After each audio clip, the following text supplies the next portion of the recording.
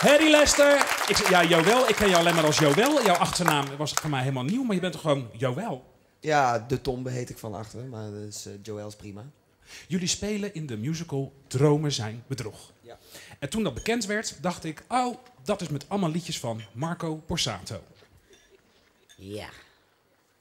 Dat dacht ik niet. Allereerst, Bart, geef, ja, geef de malle molen wat te drinken. En, Heb ik dat? ik heet gewoon Hedy, hoor. ja, nee, hart, nee, maar ik vind hartstikke toch, toch leuk dat je... glas water. Oh, Beter wijn nemen, want eh, ja, geef mij maar een glas wijn. Die man, daar word ik gek van nu al. Geef mij maar... is dat nou tijdens wat jullie toeren al even? Is, is, gaat het gewoon constant zo? Wij zijn eh, 16 augustus begonnen met de repetities en dit is nu al eh, zo eh, drie maanden aan de gang. Dus je snapt wel dat ik me kostelijk vermaak natuurlijk, hè? Dromen zijn met drog. Proost. Een musical, en ik had wat dingetjes zien op de Eruitmarkt, want daar wil ik het even met jullie over hebben, want ik heb de musical inmiddels zelf gezien, dus ik heb mijn mening kunnen bijstellen. Maar volgens mij hebben jullie in het begin een beetje aanloopproblemen gehad, dat mensen dachten, wat, wat gaat dit worden? En nu jullie pas toeren, komen ze erachter wat een musical is. Dit is ingewikkeld, maar graag een antwoord. Ja. Nou, maar het is meestal zo. Mensen weten het, ja. Of ik denk, ja, god, als je heel, heel erg bekend bent. Grote namen, die, daar gaan ze dan wel voor. En van de Ende natuurlijk eh, gaan ze ook allemaal voor. Want het kost veel geld, maar daar gaan ze allemaal. Dan moet het goed zijn. En wij hebben inderdaad een beetje aanloopmoeilijkheden gehad. Maar het gaat steeds beter. Het gaat steeds beter. En de zaal is helemaal, uit, uit hun dak gaan ze. Dus ja, en het is ook... Ik zeg het niet zo gauw als ik ergens in sta. Dan ben ik altijd erg twijfelachtig. Maar dit is echt een leuke avond. Ja, ik heb hem zelf meegemaakt. Dat is, het, is echt, nee, het is echt waar. Maar toen dacht ik eigenlijk, misschien was de titel verkeerd. Ja, het, de werktitel was Bedrogen Dromen. En ik denk wel eens, had het maar zo gelaten. Maar ja, misschien heeft de producent gedacht... Nou, dat is toch iets commerciëler. eh, dromen zijn bedrog. Totdat hij failliet ging en er echt zo'n ontzettende negatieve... Hé, hey, hou nou op, die man mag niet failliet. Want het is juist zo leuk. Dat is nou eens weer eens een keer een producent die zijn nek uitsteekt. Ik heb het over Marco Borsato. Oh, Marco, oh god, die schattenbuit. Ik ken de man niet, maar het is toch ook terug. Hij is een zanger, hij heeft liedjes. Dromen zijn bedrog. Nee, ik ken de man niet persoonlijk, bedoel. Maar het is heel treurig natuurlijk. Maar ja, laten we het daar maar niet over hebben, zeg. Want daar is genoeg over geschreven gedaan. Nee, maar deze eh, producent steekt weer zijn nek uit tegen al die grote jongens. Of er is natuurlijk maar eigenlijk één grote jongen. En dat vind ik altijd heel knap van, eh, van, van producenten, dat ze dan toch weer doorzetten. En eh, ja, vind ik heel bijzonder, ja. Laten we eens naar het... het, moet het allemaal wel betalen, hè? nou, wij, want wij komen, wij betalen die kaartjes. Ja, maar die kaartjes zijn niet zo duur. Dat valt wel mee. Wat zeg jij? Ja, nee, het, is het kost tegenwoordig allemaal duur hoor. Nee, want nou, wel. kleine betaal je 60, 70 euro. En bij ons betaal je 30 à 35 euro. Maar dan heb je, dan heb je, Nee, maar... Ja, maar... de- fantastische aan, dan heb je echt een fantastische aan. ja, zullen we- n- n- ja. Het verhaal. Nee, je doet het heel goed, Harry.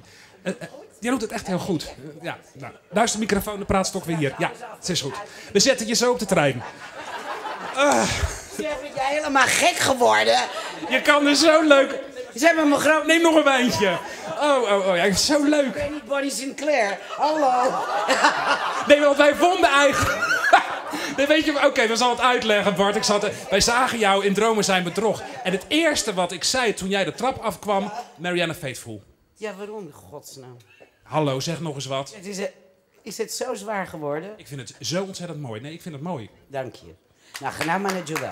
Hè? Zo. Eh, het verhaal. Nou ja, het, het verhaal speelt zich af rondom mijn eh, opa die, eh, die euthanasie pleegt. En eh, ik woon bij mijn oma en bij, bij mijn opa in huis. En je kent dat wel, dat je, dat je natuurlijk als familie zo'n drama meemaakt. En eh, je komt dan weer allemaal bij elkaar. Mijn vader komt er op een gegeven moment bij, mijn moeder komt erbij. De eh, vriendin van mijn vader die komt erbij. En eh, nou ja, goed, je gaat dan je oude herinneringen ophalen. Je gaat plaatjes draaien, je lacht, je huilt. Nou, eigenlijk dat met 50 jaar Nederlandse popmuziek, dat is ongeveer waar de voorstelling over gaat. En dan met een hoop eh, comedy ook erin. Weet je waar ik een beetje van schrok? Is dat dat het lijk constant op het podium blijft. Ja, nou ja, dat, dat is inderdaad ook best wel heftig natuurlijk. Zeker als je dat zo, ik, zoals ik hier de reactie een beetje bekijk, is dat inderdaad ook best wel... eh, Nou, hij moet op een gegeven moment ook van hij is niet echt. Nee, dat moet je nou niet... Ik had het niet door.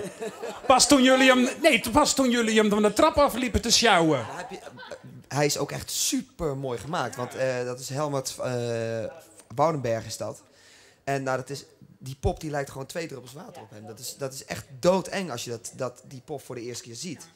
Dus dat, ik snap wel dat mensen daar een beetje aanstoot aan kunnen hebben. Maar ja, ehm, eh, eh, er, is, er zit zoveel hilariteit omheen dat dat ook weer heel snel wegvalt. 50 jaar dus eh, popmuziek, maar het is allemaal eh, live gespeeld op het podium. Lek, met een lekker... Ben, man, nou, dat is echt niet te geloven. Ik kom uit Friesland.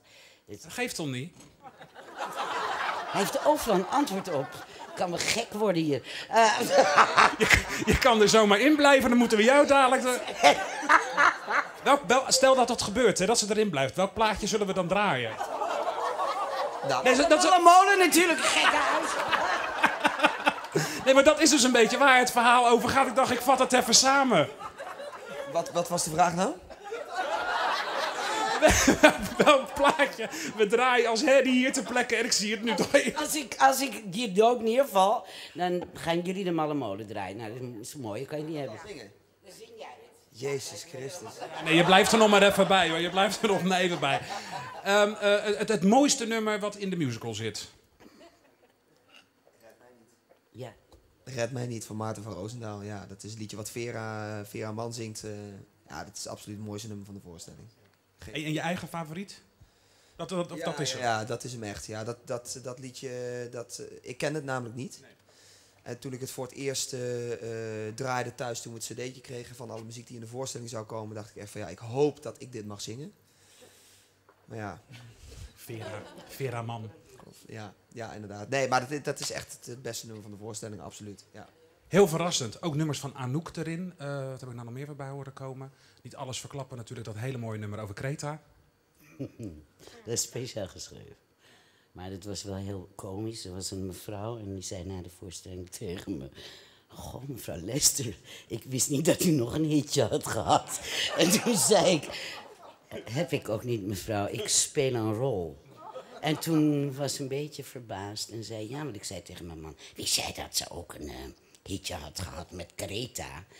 Ja, het is niet mijn liedje, hoor. Het is een beetje van... eh, daar hou ik niet zo erg van. Dan zit je hier wel goed in de nachtclub.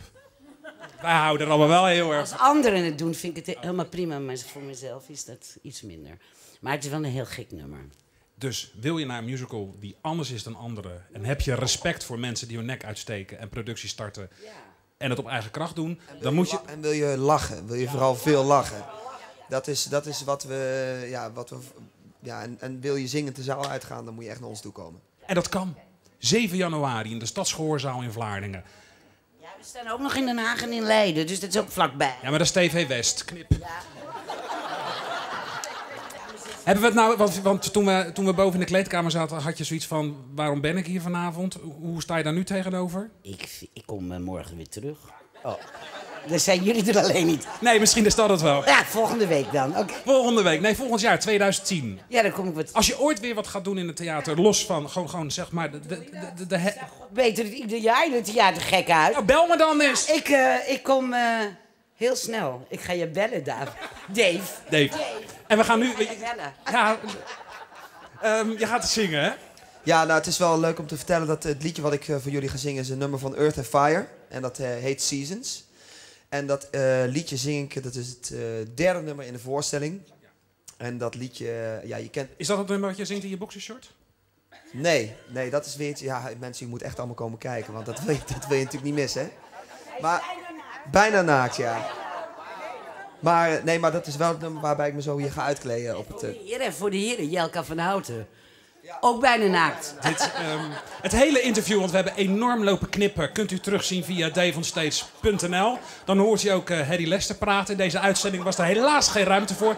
Het ging alleen maar met eh Joël over de musical. En hij gaat ook zingen voor ons. Het is dus het derde liedje in de voorstelling. En dat nummer zing ik op het moment. eh, ja, je kent het wel als je natuurlijk net iets heel vreselijks hebt meegemaakt. En je gaat dan even lekker muziek draaien. En je zoekt een plaat uit en je denkt van nee, die wil ik niet horen. En je hebt dan echt een plaat in je hoofd van dat nummer moet ik nu horen. En dat zing ik dan eigenlijk een beetje voor mezelf, maar ook een beetje voor mijn opa die net is overleden. Mensen in de nachtclub, er zit een, veiligheidsriem aan uw stoel vast, want het is een nogal heftig nummer. Doe me vast. Ga, ga, ga naar het podium. Wil jij hem aankondigen? Ik? Ja, anders denken ze thuis, mag die vrouw niks zeggen.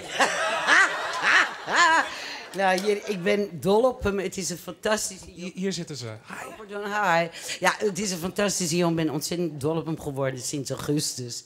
Hij is, eh, en hij, hij, hij acteert ook nog geweldig. En hij zingt fantastisch. Joël Letombe.